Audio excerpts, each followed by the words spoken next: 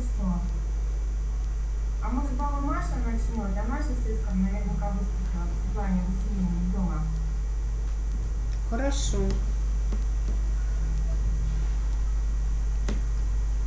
Мой сын женился на Светлане.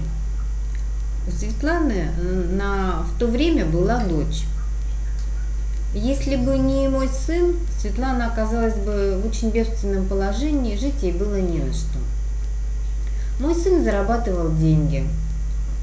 А, он занимался коммерцией. Для, коммерческих, для коммерческой деятельности он вынужден был покупать автомобили.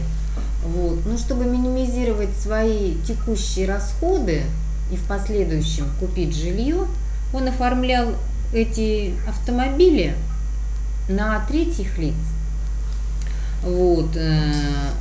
Э, Я, как бабушка, видя, что жить э, семье негде, я купила квартиру в недостроенном, правда, доме, ожидалась сдача этого дома в скорейшем времени, и туда заселила а, Светлану, а, моего внука, и кроме того, там проживает и дочь от первого брака, которая к нашей семье напрямую не имеет никакого отношения.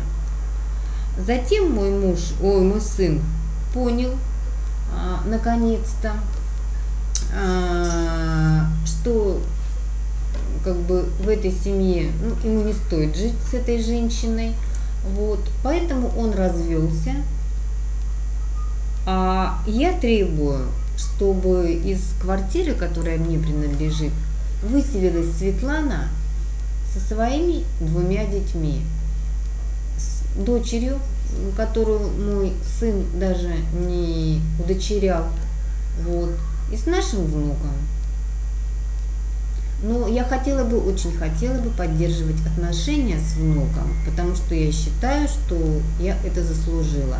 Я о нем забочусь, я его воспитываю, занимаюсь его воспитанием.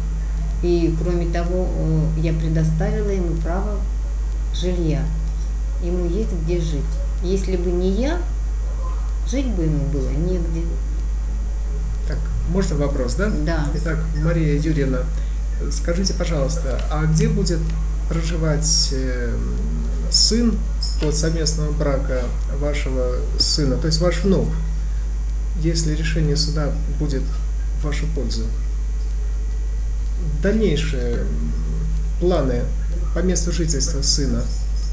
Ну, поскольку Ну-ка, Светлана да. работает, у нее есть деньги для того, чтобы производить вот определенные расходы, например, квартиру она сейчас оплачивает, оплачивает а, текущее содержание жилья, вносит расходы за капитальный ремонт, поэтому пусть она где-то снимает квартиру, снимает жилое помещение и там проживает своей семьей. Я же, понимаете, сын несовершеннолетний, он должен проживать с матерью.